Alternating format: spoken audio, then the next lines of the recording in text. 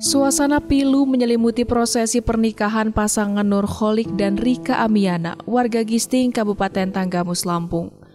Pasalnya, usai melangsungkan prosesi akad nikah dan sungkeman kepada orang tua, mempelai wanita Rika Amiana yang sebelumnya tampak sehat dengan busana adat berwarna putih mendadak tergulai lemas. Ia pun langsung mendapat pertolongan masuk ke dalam rumah, namun sayang nyawanya tak tertolong. Pesta pernikahan yang sebelumnya dibayangkan sebagai pesta sukacita, namun mendadak menjadi suasana duka dengan tangis air mata. Dikabarkan mempelai wanita Rika Amiana memiliki riwayat penyakit jantung yang diduga menjadi penyebab kematiannya. Roma Friaidam, Kompas TV, Lampung.